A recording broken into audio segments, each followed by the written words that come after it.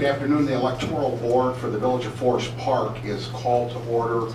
I'm going to ask uh, Ms. Moritz to call the roll call, please. Commissioner Mannix? Here. Clerk Moritz? Here. Mayor Calderone? Here.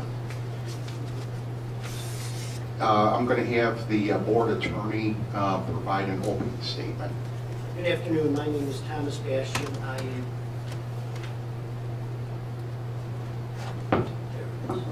Am the appointed attorney for the Forest Park Municipal Officers Electoral Board.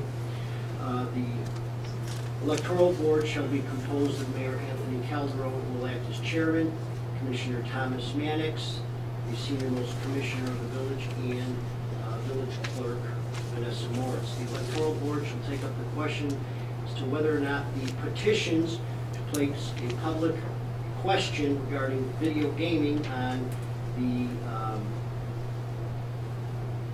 it's a question for determination at an election in the village of Forest Park, whether the uh, petitions are in proper form, whether or not they were filed within the time and under the conditions required by law, and whether or not the petitions are what they purport to be. And the board shall in general decide whether or not the petitions are valid and whether or not the objections thereto shall be sustained. And the decision of a majority of the electoral board shall be final, subject to uh, judicial review as provided by section ten ten point one of the election code. The electoral board will state its findings, decision, and order in writing, and shall state which objections, if any, are sustained and or overruled. A Copy of the board's decision will be served upon the parties in an open proceeding. A party does not appear for receipt of the decision, the decision shall be deemed to have been served on that absent party on the date when a copy of the decision is either personally delivered to that party or on a date uh, when a copy of the electoral board's decision is deposited in the U.S. mail in a sealed envelope or package and postage prepaid addressed to the party. Today, the elect, the board will adopt rules of procedure the introduction of evidence, uh, presentation of uh, arguments, if any, and for the filing of briefs, if the parties wish to do so. And uh, looking at the objections, the board will also schedule a records examination. Uh, The board, uh, having had an opportunity to uh, review the proposed rules of procedure, I would ask that motion be made to adopt the rules as presented and to admit those rules as board exhibit number one. So moved. Okay, there is a motion to adopt the uh, rules of procedure. Is there a second? Second. And then Ms. Moritz, you can call the roll. Commissioner Mannix? Aye. Clerk Moritz? Aye. Mayor Calderone? Aye. The rules are adopted. And be admitted as board exhibit number one. The uh, chair will uh, accept the rules of procedure as board exhibit number one is so ordered. Secondly, I would ask that uh, motion be made to admit the call the hearing as board exhibit number two. Is there a motion? So moved. We have a motion, and is there a second? Second. We have a motion and and a second. Uh, Ms. Moritz, you can call the roll. Commissioner Mannix? Aye. Clerk Moritz? Aye. Mayor Calderone? Aye. The uh, chair so orders uh, board exhibit number two. Uh, Finally, exhibit number three, if board's pleasure to admit the uh, petitions for referendum on video gaming as board exhibit number three. So moved. Second. There's a motion and a second. Uh, Madam, Ms. Moritz, you can call the roll. Commissioner Mannix? Aye. Clerk Moritz? Aye. Mayor Calderone? Aye. And finally, is board exhibit number four, the objection to the proponent's petitions, the objection of uh, James S. Watt. In this matter will be known as the objections of James S. Watts to the petition for referendum on video gaming in the village of Forest Park, Illinois, and marked as 2017 Forest Park Municipal Officers Electoral Board case, uh, MOE. So we're going to entertain a motion to accept the Objection. the objection as uh, board exhibit number four. Is there uh, a motion? So moved, Your Honor. There is, uh, it's been moved. Is there a second? Second. And a second, so Ms. Moritz, you can call the roll. Commissioner Mannix, Aye. Clerk Moritz, aye. Mayor Calderone. Aye. So it's so ordered, uh, the board is accepting exhibit number four as the objections to James Watts' petition for referendum on video gaming. The parties are present. The parties will identify themselves, please. Good afternoon, Ed Mullen on behalf of the proponents, uh, led Forest Park vote on video gaming. Uh, and Mr. Mullen, you have a, uh, an appearance, if you could file that with the board and a copy. uh, Mr. Would you like that? Please. And Good afternoon, members of the board, James Nally, we have the objector, about five month written appearance before the Board.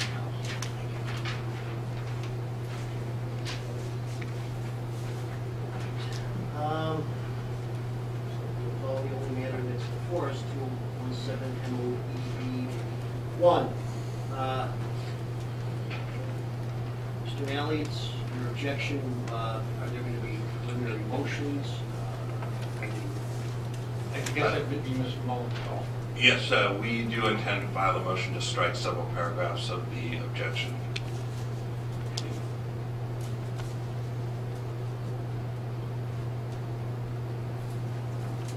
Obviously, Mr. Nally, you're gonna want time to respond. Yes, I would. Um, when do you propose to file? Uh, Tomorrow, 5 PM? Okay, and is the rules provide uh, service by email? I've included my email address in in the rules. And and that's service and filing, correct? Yes. So motion to strike by January 3rd at 5 PM. Mr. Nally, I could have till uh, Friday to respond. response?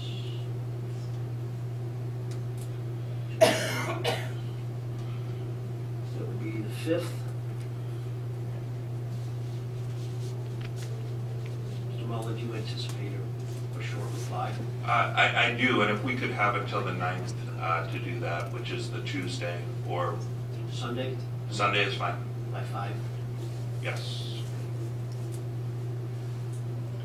By one second.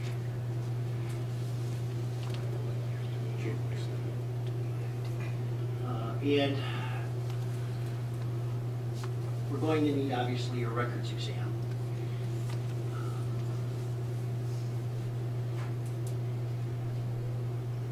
I don't know, I'll have to contact the county to determine what their availability is, uh, how many stations they're going to have. So I don't know that we need to reconvene prior to the records exam unless, gentlemen, want to come back just to argue the motion, but it doesn't make a lot of sense to me. Uh, I'm sure you're both very busy. We're going to have to do the records exam one way or the other. We're going to have to do it. But I, I think it would make most sense if you set a hearing after the records Yes. exam is completed and we come back and do both at the same time. I would agree. Okay. Um, Any other matters? Mr. Mullen, Mr. Nally? No, sir. No?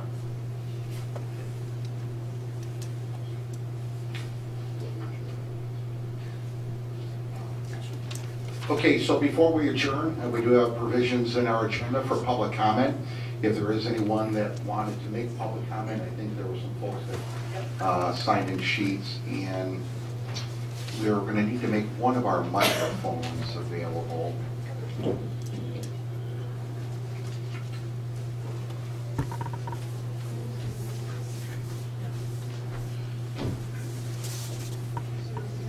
Yeah, why don't we just uh, pull one of those podiums, just, just slide it out a little bit. We could have the folks come up to the podium there.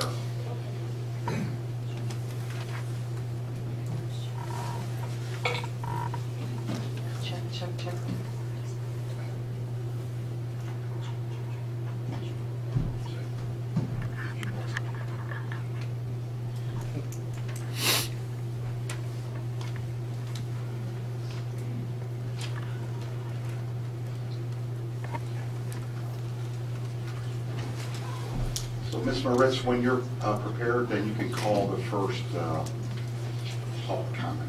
Etta Worthington.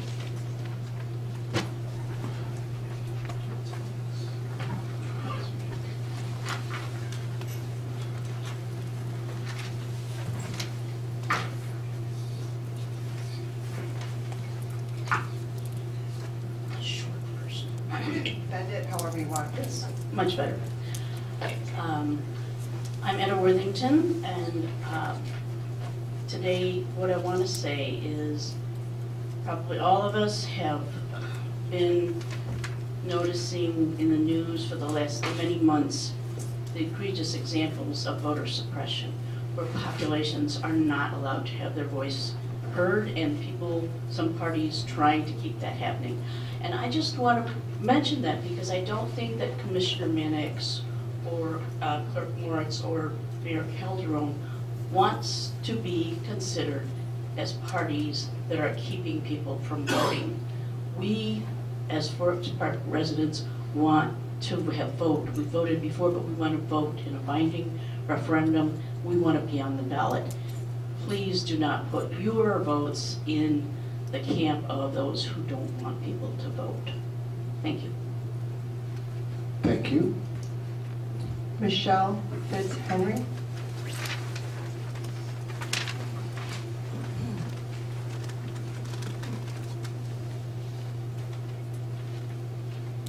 I'm Michelle Fitzhenry.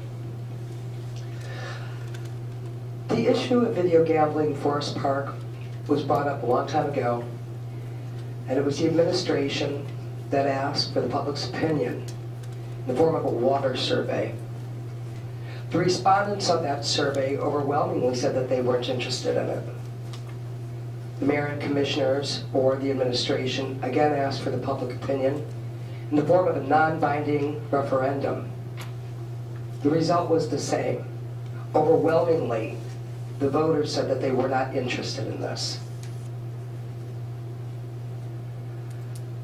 A group of, a group of residents began a petition. The number of petitioners engaged in that and the number of signatures, both on the last petition and this petition, speaks for itself.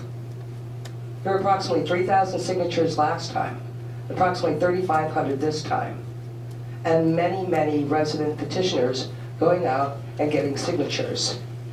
Whether we lost last time or we won last time, it doesn't dismiss the fact that people want a voice in it. We aren't asking to ban video gambling. We're asking for a voice, and we're asking for a choice. We're your constituents, and it sounds like that's fair. Thank you. Thank you. Jessica Root.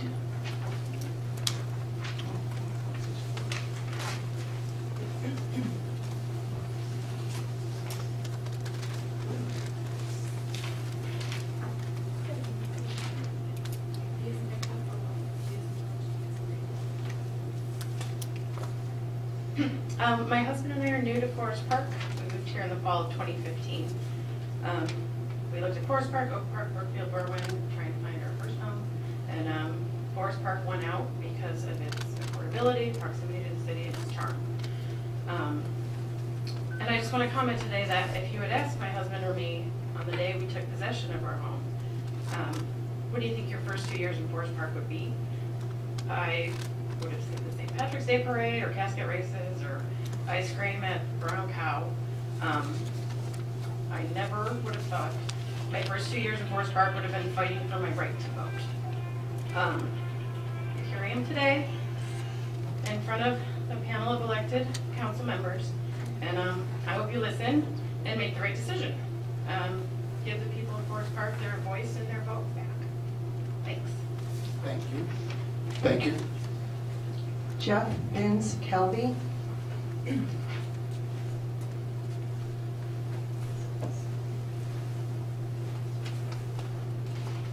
Hello, everyone.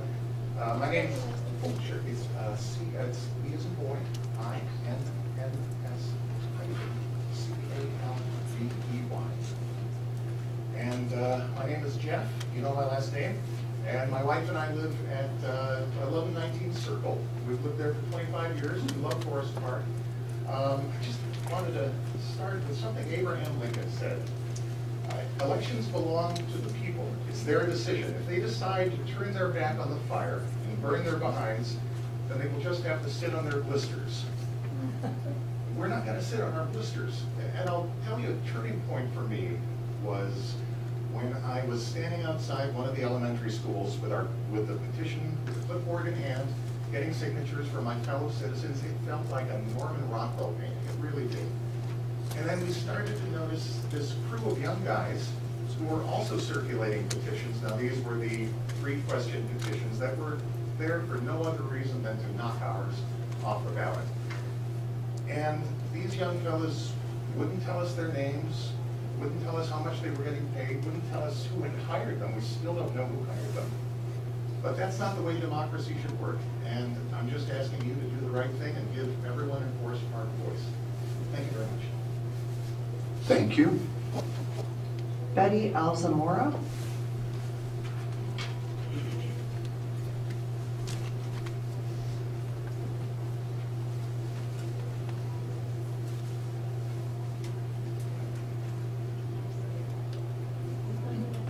Sure.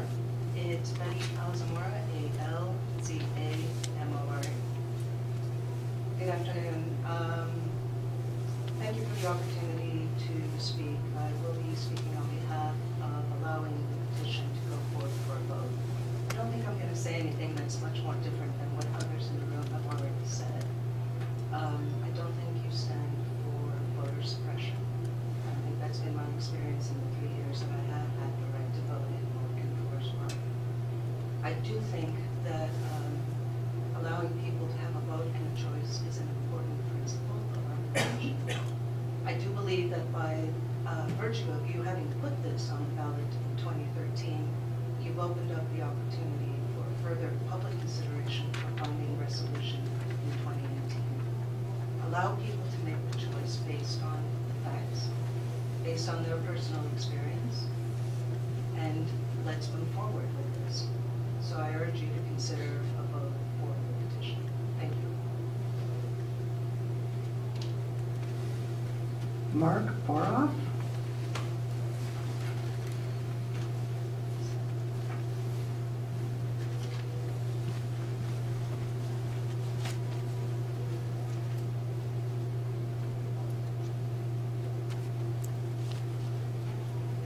Good afternoon, my name is Mark Boroff, I live at 505 Thomas, so hello neighbor. Uh, I, I sure can, Boroff, B-O-R-O-U-G-H-F.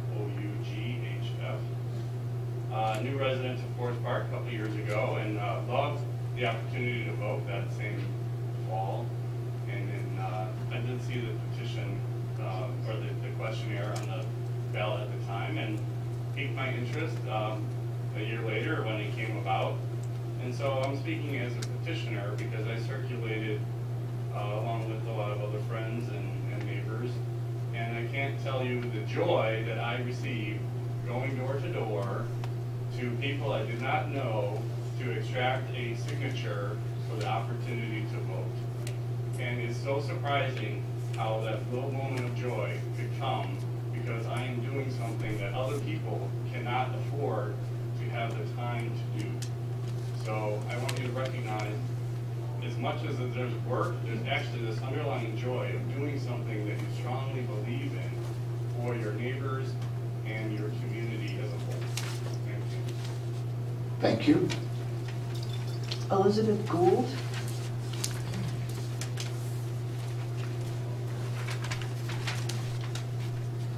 Good afternoon. Jenny Reed's full name, G-O-U-L-D. Thank, thank you for this opportunity.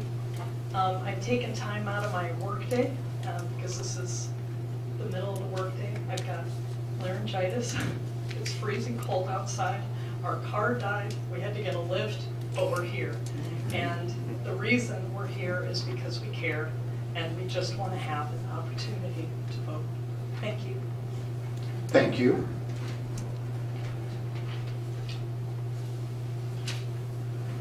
That completes the uh, public comment. All right, great. Um, Council, any other matters that we discuss before, other matters for today, as I told each attorney, I will notify them as to the county schedules, the records, records. easy. Subsequent to uh, Reconvene. so uh, certainly, you know, the, uh, the- the uh, the attorneys representing both interests, you know, have their uh, tasks, and you know what you have to do, and you've got the time frame for that. You know, needless to say, we have quite a number of uh, folks that are here in the audience, and certainly, um, they may not be familiar with the, uh, the election laws as either Mr. Mullen or Mr. Nally are.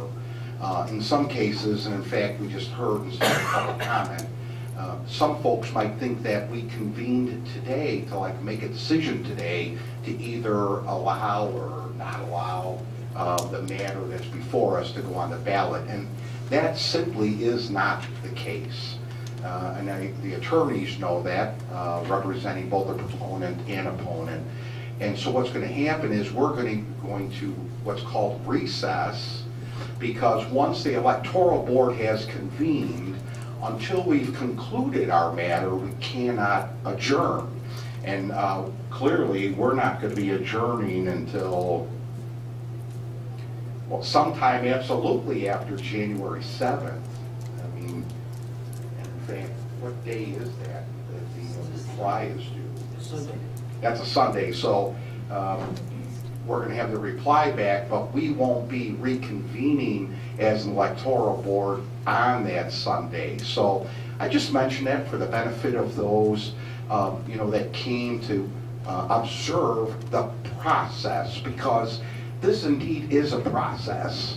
And this doesn't have anything to do with uh, voter suppression. This has to do entirely with laws not created by the three of us, not created by the local government. These are laws that are in the Illinois statutes. And So, uh, you know, our job as electoral board is to follow those laws, and we intend to do just that. But it is going to be a couple of weeks, uh, is my best guess, before uh, this matter is concluded. So, um, with that, um, what we're going to do is I'm going to entertain a motion to recess, and, uh, and then I'll... And just for, for clarity, before I make that motion, so we have the replies due by the seventh, and then Mr. Bastian's gonna uh, talk to the county about a records exam, and then that date will then Yeah. dictate. I don't know what the county schedule is, in as much as there are volumes of objections pending at the county now for county commissioners uh, and various other offices. So, I, I will say that I have a case that was called on December twenty-second that still has not been scheduled for a records exam, for records exam. Well, I, I have one, I have three that are done, and I have one that is scheduled. well, that's hard for, well, it's not out of the ordinary. So, Mr. Mullen, as you well know, I mean, that part of it is out of our hands. Uh, We have no control over the county of Cook. We cannot tell the county of Cook what day they have to perform that record, records exam, and, and, and you know that. So, um, uh, members, you know, we're at the mercy of the county of Cook, and that's why I said the absolute earliest would be sometime around the seventh, but, you know, that could potentially be a little bit of a long shot. It's gonna be several weeks, uh, uh, before I foresee us re- reconvening from uh, recess. And uh, certainly, this will all be publicly noticed, meaning that it will be posted uh, uh, here at the Village Hall uh, to comply with Open Meetings Act. So uh, in the meantime, I'll entertain a motion to recess. So moved. Have a motion, is there a second? Second, Ms. Moritz, you can call the roll call. Commissioner Mannix? Aye. Clerk Moritz, aye. Mayor Calderone? Aye, we stand in recess.